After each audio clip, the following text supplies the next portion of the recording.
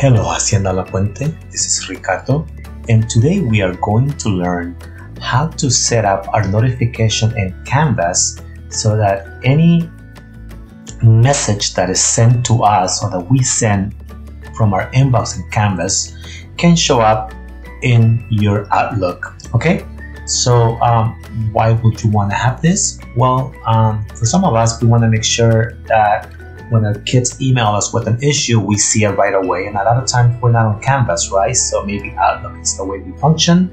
Um, this could also be accomplished by just downloading the uh, Canvas app for teachers because you get real time notifications pushed to your phone.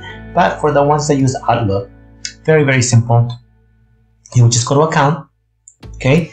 On settings, you want to make sure that the email that you want to use, so you can use the email for work, the Outlook, right? But you have options to add other emails in here, okay? But I want to make sure that we're using our Office 365 email. So just make sure that the email address is there, okay?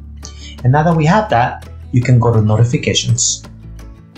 Okay, and notice that over here you have a lot of options. Okay, just to give you an idea, the check mark means that you're to be notified right away. The little clock means that it's going to be sent a daily summary. Uh, the calendar weekly, and then the last one you don't get get any notifications. But maybe you want to get again those notifications from your inbox. Okay, so you have a couple of options right here.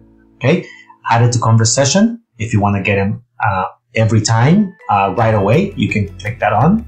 Cover conversation message. If a student sends you a message, you can turn that on so you will get it on your Outlook because this is my Outlook or Office 365 email, okay?